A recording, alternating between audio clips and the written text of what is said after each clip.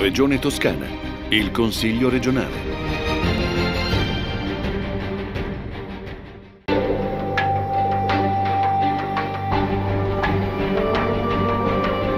Seduta solenne del Consiglio regionale della Toscana per il Giorno della Memoria a Prato, presso il Museo della Deportazione e Resistenza. Il Consiglio ogni 27 gennaio sceglie un luogo diverso, simbolico della Toscana, per essere vaccino contro l'oblio, per non dimenticare ed essere amplificatori di memoria. Il Museo di Prato, dove si è svolta la seduta, rappresenta uno dei luoghi dove si tocca con mano quanto accaduto, testimone per tramandare la memoria in Toscana. Il Consiglio regionale con la Giunta regionale sta lavorando poi per far ripartire il treno della memoria nel prossimo anno, che prima della pandemia coinvolgeva scuole e alunni delle superiori, accompagnandoli dalla Toscana ai lager nazisti, proprio nel giorno della memoria, per un'esperienza forte ma che rendeva gli studenti coscienti della tragedia avvenuta, diventando testimoni contro la Shoah. Eh, il 27 di gennaio non deve essere soltanto oggi, deve essere tutto l'anno, specialmente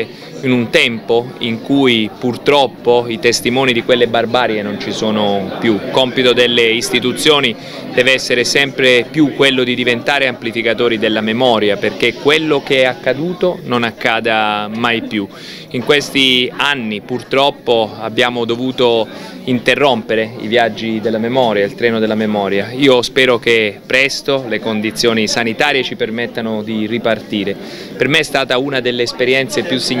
della mia vita. L'ultimo treno alla memoria nel 2019 insieme a tante ragazze, tante studentesse e tanti studenti toscani. Abbiamo iniziato quel viaggio in cui le ragazze e i ragazzi eh, sembravano quasi andare in gita. Eh, dopo aver incontrato le sorelle Bucci il clima è cambiato, siamo arrivati ad Auschwitz, a Birkenau e il freddo non era soltanto un freddo che toccava il nostro corpo, ma arrivava dritto dritto al, al cuore e il viaggio di ritorno eh, ha significato per me tanto perché eh, le ragazze e i ragazzi non solo hanno conosciuto, non solo hanno compreso, ma hanno deciso di diventare testimoni di quella memoria perché davvero quello che è accaduto non accada mai più. Allora eh, abbiamo scelto in maniera simbolica quest'anno di uscire dal Consiglio regionale nazionale, di venire in uno di quei, di quei luoghi, come potete ben vedere, in cui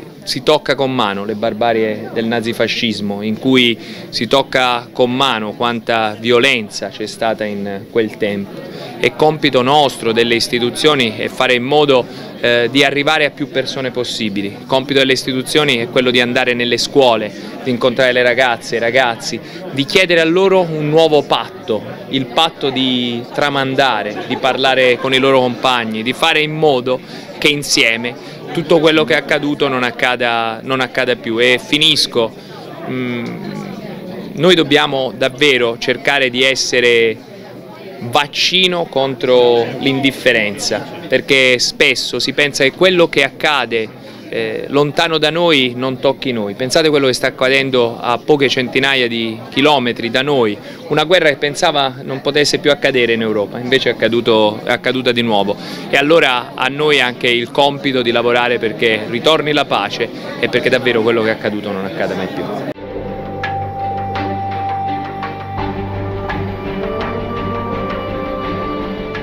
Innanzitutto esprimo la mia soddisfazione per questa decisione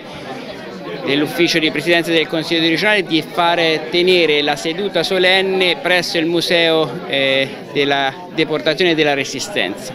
Il palazzo si deve aprire, si deve aprire al mondo esterno, è quello che cerchiamo concretamente di fare da quando è iniziata la nuova eh, consigliatura.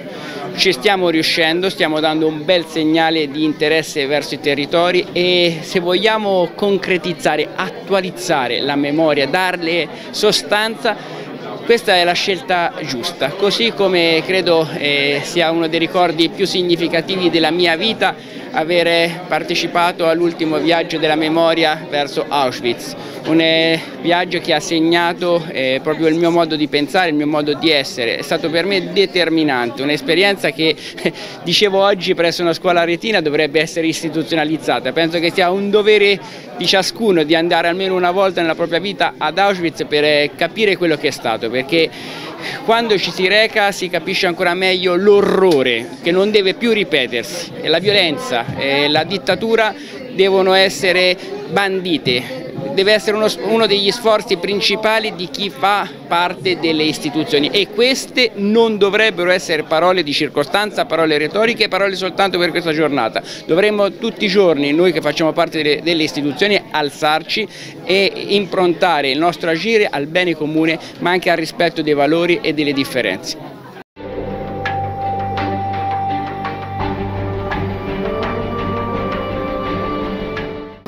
Giornata della memoria è dovere del Consiglio regionale della Toscana fermarsi eh, per provare a tutti insieme a condividere quello che è la condanna di un orrore, l'antisemitismo, le leggi razziali e ovviamente in questo momento, in questo contesto storico così delicato in Europa dove la guerra in Ucraina ha riportato diciamo, degli orrori che pensavamo essere ormai abbandonati alla storia, da parte nostra il senso di responsabilità ci porta a condannare ogni forma di discriminazione, di antisemitismo, ogni forma di supremazia dell'uno verso l'altro, ogni guerra nel contempo stringe la nostra comunità agli agli ebrei, a una comunità che ha lottato, che oggi deve eh, essere da parte nostra accompagnata verso ovviamente un riscatto, la possibilità che la Toscana si faccia carico ovviamente di combattere ogni forma di discriminazione è compito di tutte le istituzioni indipendentemente dalla nostra provenienza e dalla nostra partecipazione ad iniziative politiche di parte.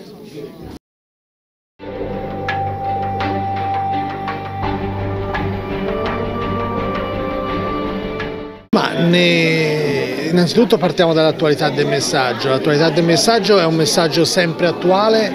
perché quando si parla di conservare la memoria è un dovere di tutti e soprattutto quando si parla di eh, leggere anche le pagine disastrose, drammatiche, buie della nostra storia non ci deve mai essere vergogna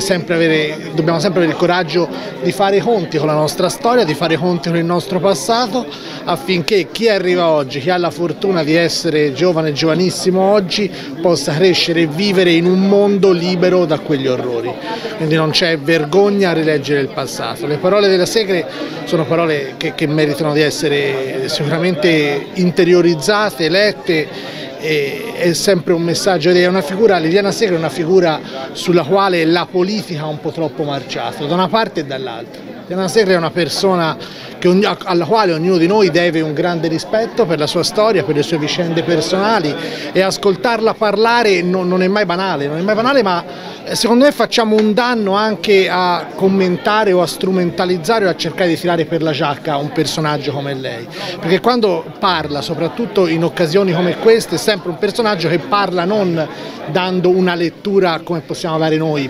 politica o storica dei fatti, ma avendoli vissuti in prima persona. E io credo che una persona che abbia vissuto quei fatti debba essere sempre rispettata, quindi le parole non sono da condividere o non da condividere, sono semplicemente da ascoltare con grande rispetto, interiorizzare e rifletterci sopra.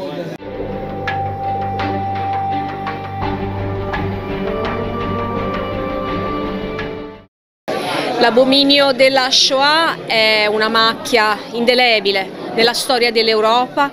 e anche in Italia la dobbiamo sentire con il giusto carico di responsabilità storica che ancora per certi versi fatichiamo ad assimilare. Siamo in un'epoca adesso, stiamo attraversando degli anni in cui gli ultimi eh, sopravvissuti ai campi di sterminio ci stanno lasciando e questo ci dà la responsabilità di questo carico storico che abbiamo il dovere di tramandare perché quello che è successo durante la Shoah, quello che è successo al popolo ebraico non si ripeta più nonostante eh, i venti di guerra continuino a soffiare eh, sul nostro pianeta e nonostante le guerre non abbandonino ancora la nostra storia. Ecco, eh, questo è il nostro dovere, lo abbiamo come cittadini, lo abbiamo come istituzioni, lo abbiamo nei confronti dei nostri giovani che devono essere in grado di capire ciò che è accaduto e soprattutto devono essere in grado di riconoscere all'interno della società in cui essi vivono quei germi che possano dar luogo di nuovo a dei rigurgiti, se non uguali, analoghi a quelli che hanno eh, sporcato eh, la storia dell'umanità. E questo per noi dovrà essere uno dei passaggi che ci dovrà far capire che giorni come il giorno della memoria devono essere nella nostra memoria, nel nostro cuore, nella nostra azione di politici tutti i giorni. In effetti per noi è un grandissimo onore ospitare il Consiglio regionale della Toscana nella sua seduta solenne per il giorno della memoria. Eh, è un onore un piacere a dimostrazione del fatto che il nostro museo, un po' periferico qua su a Figline di Frato, ma è eh, un museo di rilevanza regionale. Infatti sono anni, cioè molti anni che lavoriamo con e per la regione toscana. Presentazione in Consiglio regionale per la ventiseiesima edizione del Carnevale dei Figli di Bocco di Castiglion Fibocchi. L'edizione di quest'anno è dedicata a Pietro Vannucci, detto il Perugino, a 500 anni dalla scomparsa, e vivrà quattro giorni ricchi di eventi con le strade di Castiglion Fibocchi animate dalle caratteristiche maschere barocche. Si parte sabato 4 febbraio con Aspettando i figli di Bocco e si prosegue domenica 5 e sabato 11 con la chiusura prevista per il 12 febbraio con il tradizionale corteo reale che percorrerà le vie del centro storico del piccolo borgo medievale. Questa mattina mattina siamo qui a presentare la ventiseiesima edizione che appunto eh, si celebrerà il domenica 5 e domenica 12 febbraio a Castiglion Fibocchi. È un carnevale storico, ci piace definirlo, non è un semplice carnevale ma è una revocazione storica all'interno di un borgo meraviglioso che sarà in quei giorni contornato e colorato da opere d'arte cucite completamente a mano dalle sarte del paese. Diverso perché sono tutte maschere uniche, vestiti unici, sono, sono opere uniche, non ripetibili, non si possono modificare e vengono indossate da ragazzi, adulti, bambini, persone che mettono proprio, la propria anima in queste maschere e è bellissimo. Sono particolarmente felice di aver dato anche quest'anno il mio contributo perché si svolgesse qui a Palazzo del Pegaso la presentazione di questo che, lasciatemi dire, è ben più di un carnevale. Rendiamoci conto dei numeri effettivi di chi lavora, di chi dà il proprio contributo fattivo per il carnevale. Più di 300 castiglionesi su una popolazione di 2000 persone. Rendiamoci conto di questi numeri, rendiamoci conto che si tratta di opere d'arte uniche, interamente cucite a mano, di stile barocco, che riecheggiano Venezia e che si tratta di uno dei carnevali più antichi d'Italia. Quest'anno poi ha la bellezza di eh, fare riferimento a Pietro Perugino, a 500 anni eh, dalla morte, quindi anche un ricordare questa figura, Pietro Perugino, che spesso si dice si fermasse a Castiglion Fibocchi nella strada di passaggio dalla sua Perugia a eh, Firenze e quindi ecco, è un ricordare, è un celebrare, è un dare forza e animo a quelle che sono le tradizioni, ricordo anche la festa ecco, eh, al momento della pasta asciutta, la, le domeniche, ecco, il popolo che contribuisce con eh, questi piatti di pasta per allegrare ancora di più la gente che viene a Castiglion Fibocchi. Lasciatemi dire eh, con mascellato orgoglio che Castiglion Fibocchi è uno dei borghi più belli della mia provincia di Arezzo e venite tutti al carnevale ma anche in altri momenti perché veramente merita.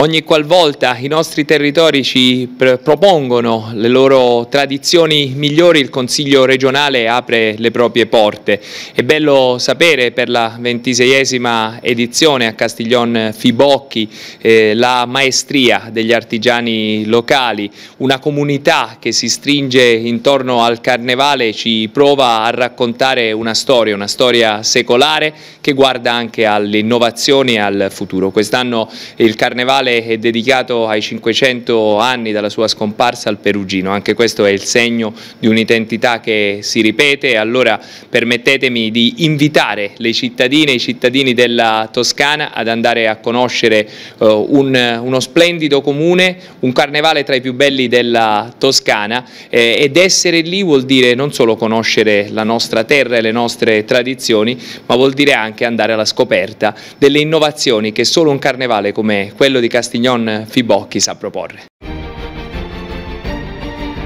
Regione Toscana. Il Consiglio regionale.